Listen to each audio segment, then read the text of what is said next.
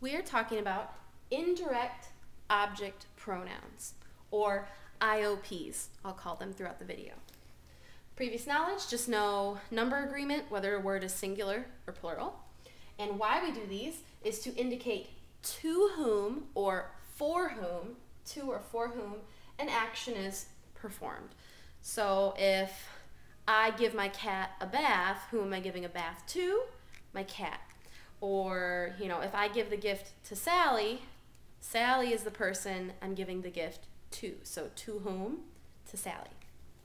Our indirect object pronouns are me, te, le, nos, os, and les. Here's some examples to kind of give you an idea about when we would use an indirect object pronoun. So we're going to identify in English first and then write them in Spanish.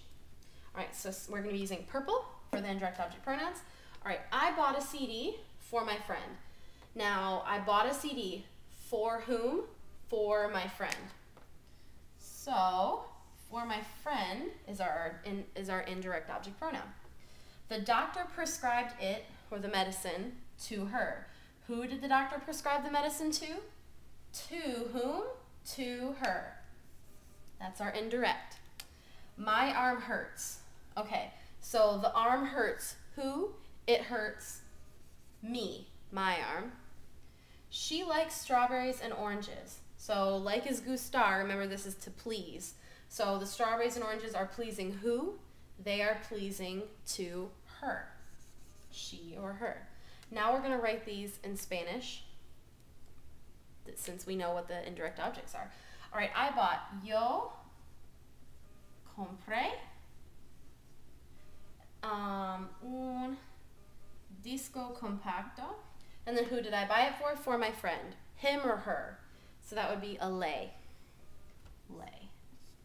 And if I want to be a little more specific too, I can say um, para mi amigo. But I don't have to write that part, so I could say that. All right, the doctor prescribed it to her. So the doctor, el médico, el médico, he prescribed it to her. So lo recetó. Recetar is to prescribe. He prescribed it and then to her le.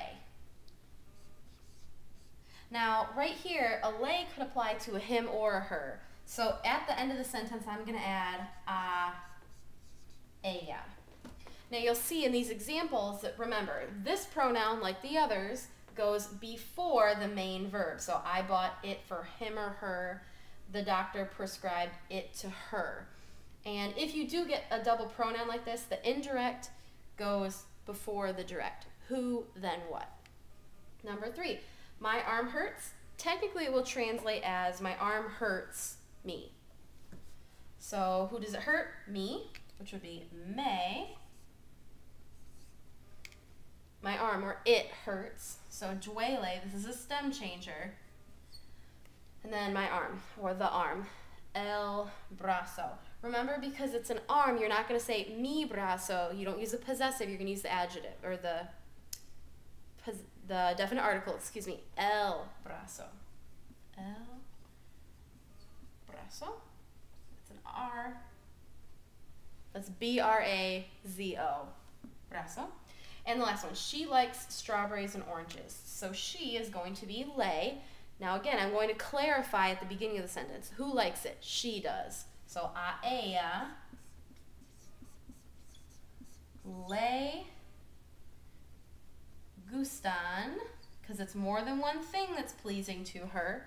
Strawberries, fresas, and oranges, naranjas. Now, if the sentence said she likes to eat those things, remember all the verbs in the world, it's still going to be gusta. But since it's likes and then there are specific items, le gustan. So basically, if you see le or les, it's generally a good idea to clarify specifically who it is. Some things to note. Um, indirect object pronoun will, it goes before the main verb. Like when we said le compré, bought it for him. The le will go before the main verb. If the main verb is followed by an infinitive or a participle, just like with the other pronouns, it can either stay before the main verb like usual, or you can attach it to the end of the infinitive verb.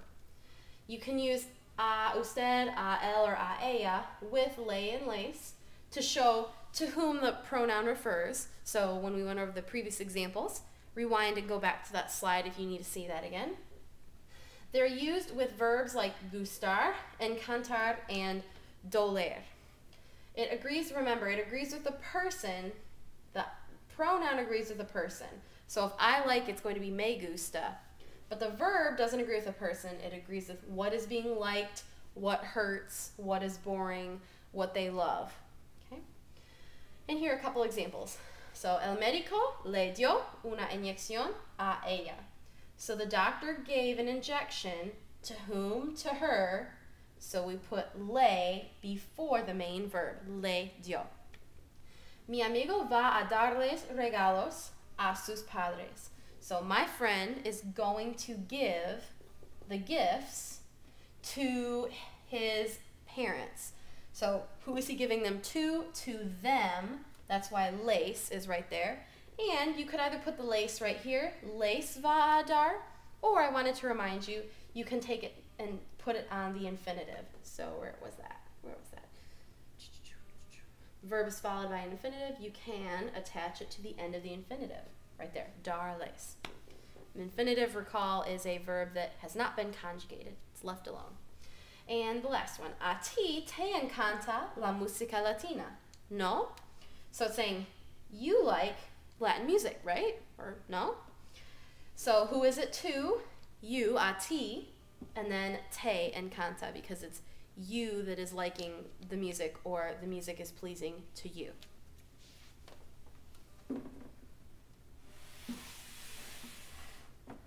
Take a moment, please pause the video to identify and then replace the indirect object pronouns in the following sentences.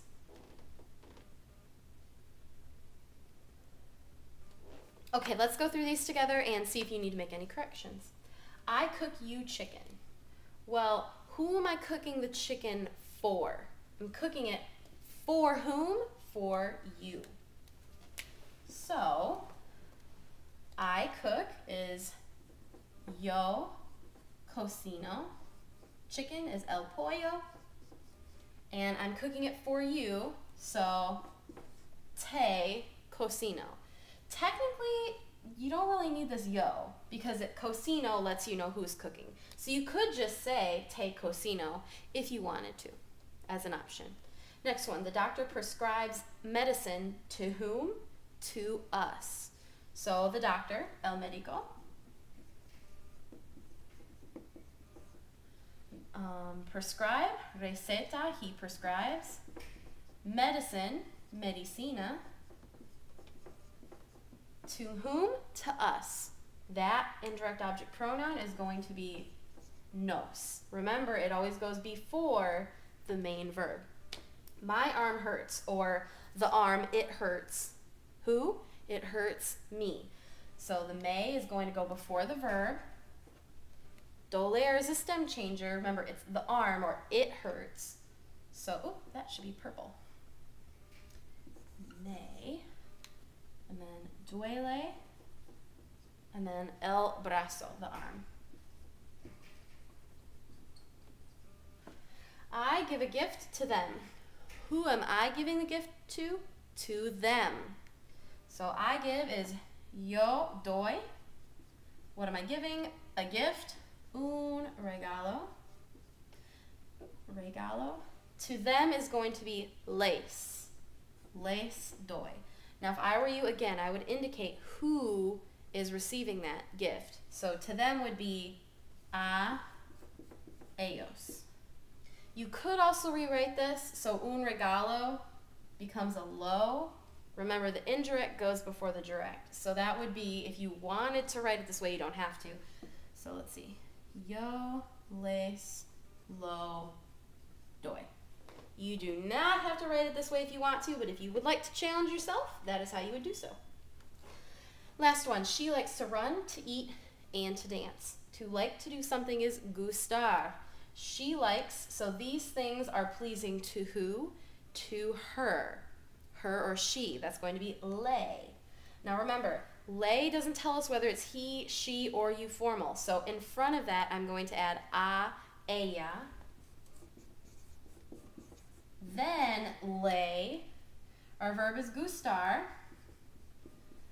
Remember that when these are action words, gusta is never going to be plural if it's followed only by verbs. If it were followed by things like items, or that she, you know, that would be a, that would be plural gustan. But since these are actions, it stays singular. Gusta to run, correr, to eat, comer, and y bailar to dance. Remember, also after verbs like gustar, doler, and cantar, querer, all of the verbs that follow it stay in infinitive. To eat, comer, okay? Nothing changes.